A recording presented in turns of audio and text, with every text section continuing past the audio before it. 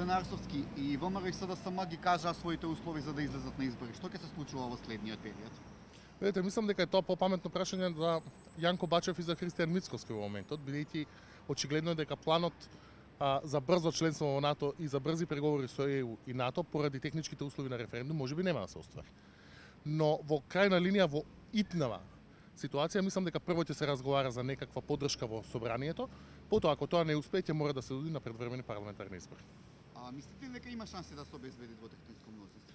Па мислам дека не е невозможно тоа, но имајќи ја предвид радикализацијата на двете партии, извршните избори и на СДСМ и на ВМРО ДПМН во кои двете ги, за, ги зафатија своите диаметрално спротивставени позиции, мислам дека сепак има некаква консолидација на претениците кај ВМРО ДПМН и дека тоа ќе биде многу тешко.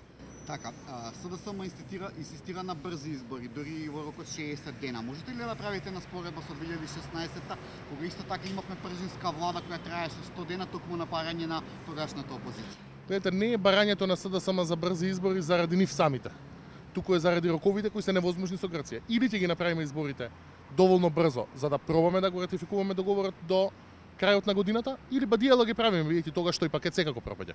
Но не може и а, почитување на уставот и почитување на законот за влада. Зашто ќе се одлучите?